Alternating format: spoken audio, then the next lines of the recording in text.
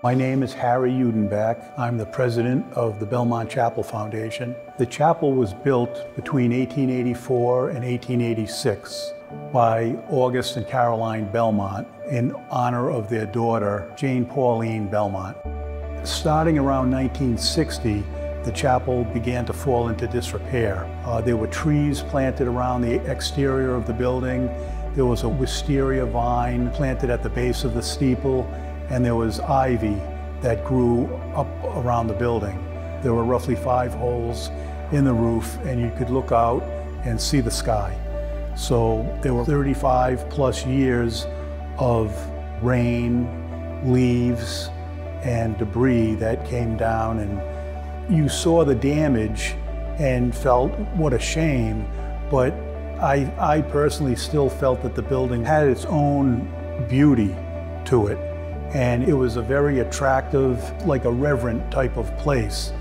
Our goal was to do a historic preservation restoration, and we had a uh, structural assessment done to make sure that we were on a solid foundation and we weren't going to start fixing up a building that was structurally unsound. All the stained glass windows were in a severe state of disrepair. They had BB holes and people had thrown rocks at them, but yet they still had their beautiful images that were there. There are areas that had to be repaired and it's different with each window.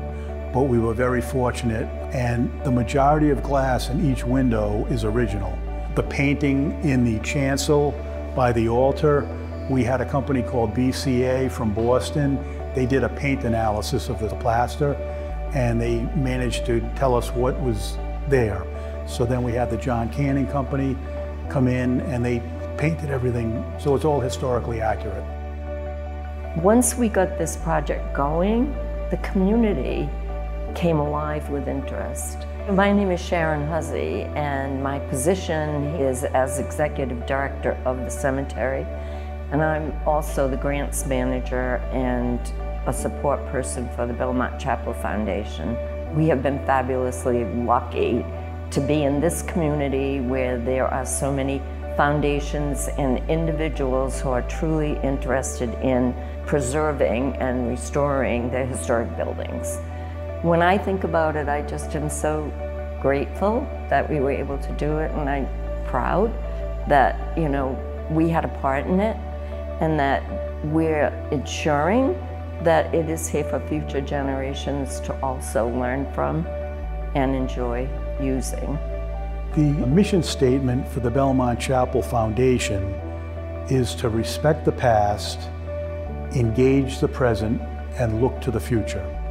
So we feel that uh, looking to the future with the chapel, we have to make it usable for the world we live in today.